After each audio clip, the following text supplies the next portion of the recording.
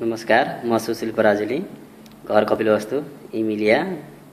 हाल मरुभूमिको छाती दोहा कतारबाट विगत पन्ध्र महिनादेखि यहाँ कार्यरत छु प्रोफेसनल सिक्युरिटी सर्भिस कम्पनीमा मैले आज पनि एउटा गजल रचना गरेको छु जसलाई म वाचन पनि गर्नेछु। आशा गर्दछु तपाईँहरूले मन पुऱ्याइदिनुहुन्छ भन्ने।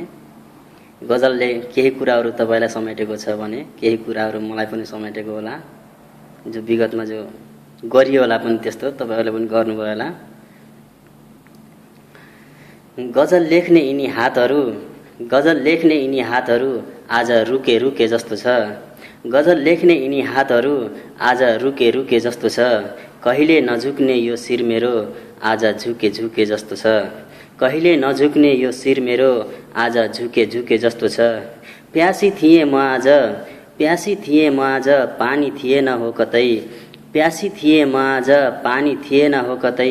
सधैँ बग्ने खोलाको बेग पनि सधैँ बग्ने खोलाको बेग पनि आज सुके सुके जस्तो छ। सधैँ बग्ने खोलाको बेग पनि आज सुके सुके जस्तो छ। नायक ठान्थे म आफैलाई। नायक ठान्थे म आफैलाई तर खलनायक रहेछु। नायक ठान्थे म आफैलाई तर खलनायक रहेछु। हेर्नुहोस् भित्रभित्रै मलाई यो समाजले। हेर्नुहोस् भित्रभित्रै मलाई यो समाजले। आज थुके थुके जस्तो छ। हेर्नुहोस् भित्रभित्रै मलाई यो समाजले। आज थुके थुके जस्तो छ। धिक्कार छ मलाई यो जिन्दगीबाट।